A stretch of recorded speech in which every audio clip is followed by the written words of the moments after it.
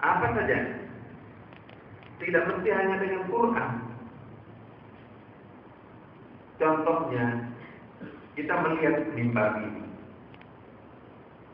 Oh, sudah kelapa punya mimbar baru. Itu baru satu lapis. Ya sudah, bacalah. Jangan berhenti hanya satu lapis itu. Oh, mimbar ini cantik sekali. Tegar sekali. Kokoh sekali. Terbuat dari kayu hitam. Kayu yang paling langka di dunia. Dan kayu yang hanya ada di Indonesia. Dan hanya ada di Sulawesi Tengah. Pasti harganya ini adalah spesial. Masya Allah. Makhluk Allah dalam bentuk kayu hitam ini berdiri kokoh, kokoh menghiasi masjid sudah sampai. Sudah ada pertanyaan intelektual muncul di sini. Kenapa hanya tumbuh di sana? Kenapa tidak tumbuh di tempat-tempat yang lain? Ini ada apa? Apakah tanahnya di situ yang spesifik bisa melahirkan kayu eboni ini, kayu hitam? Di situ kita sudah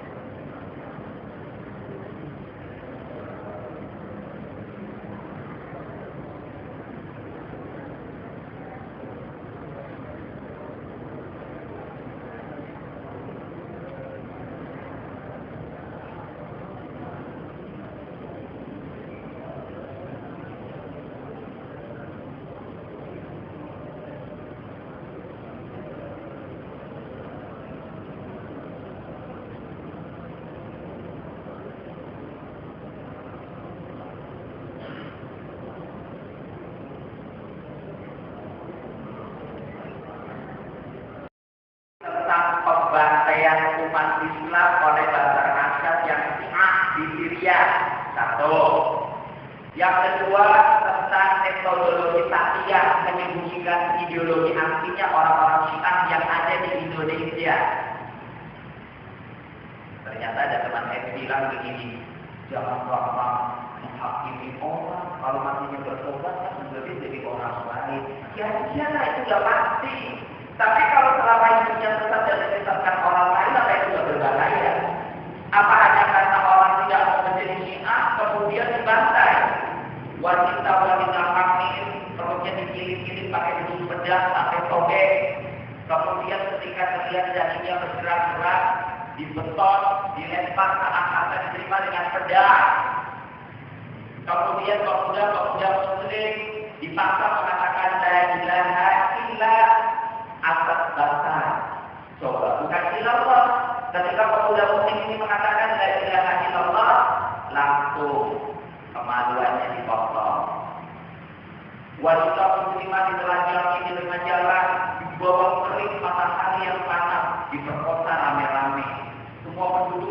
bersembunyi. Kenapa? Karena di sekelilingnya ada sniper yang mau nembak. Begitu ada pemuda muslim memberanikan diri nolongin wanita yang telanjang bulan ini dibopong, pemuda ini ditembak. Maka saya katakan, itu kan agama yang katanya Islam. Syiah bukan Islam. Oleh karena itu Bapak Ibu, itu sudah punya pegangan kembali ke persoalan. Demikian pun memaafkan. Jangan kemudian maafkan membaca negara kita, apa nggak ada tuntutan keadilan? Sekali lagi yang namanya memaafkan memang berat Bapak Ibu. Oleh karena itu sekali lagi dalam keluarga, dalam bermasyarakat, dalam berorganisasi apa pun supaya kita bisa bersama-sama bergerak nanti masuk surga miliki sikap maaf